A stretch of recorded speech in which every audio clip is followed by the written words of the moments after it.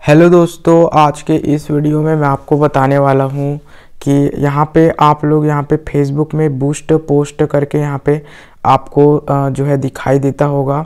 तो ये क्या होता है, उसी के बारे में मैं आपको मैं आपको इस वीडियो में बताने वाला हूँ। तो चलिए दोस्तों, मैं आपको बताता हूँ। तो यहाँ पे आपको फेसबुक में बूस्ट पोस्ट करके दिखाई देता है। तो ये बेसिकली एक जो है ऐड के लिए एक ऑप्शन रहता है जिसके थ्रू आप लोग अपना जो पोस्ट है वो यहाँ पे ऐड ऐड लगा सकते हैं जिसके थ्रू आपका जो पोस्ट है उसका नीच यहाँ पे बढ़ जाता है।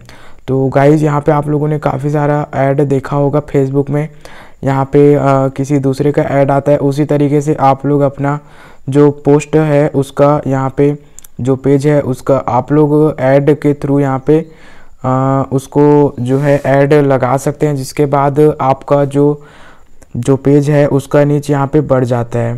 तो इसका काम यही होता है जो बूस्ट पोस्ट रहता है उसका काम यही रहता है कि आपके जो है ऐड लगाना। यानी कि आप अपना जो पेज है उसका ऐड किसी दूसरे के में जो है लगा सकते हैं। ओके तो इसमें आपको जो है कुछ डॉलर में पैसा पेड करना पड़ सकता है। क्योंकि ये जो है पेड रहता है। तो आप लोगों को जो है, अगर अपना पेज को यहाँ पे यहाँ पे बूस्ट करवाना है, यहाँ पे उसका नीच यहाँ पे बढ़ाना है तो आप लोग चाहे तो यहाँ पे पेड कर सकते हैं यहाँ पे, जिसके बाद आपका जो पेज है उसका ऐड यहाँ पे दूसरे लोगों को यहाँ पे दिखाई देने लगेगा।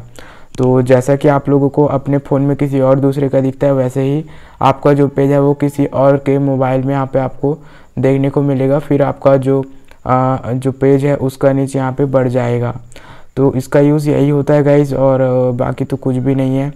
तो अगर ये वीडियो आपको अच्छा लगा हो तो लाइक कर दीजिए और चैनल को सब्सक्राइब भी कर लीजिए।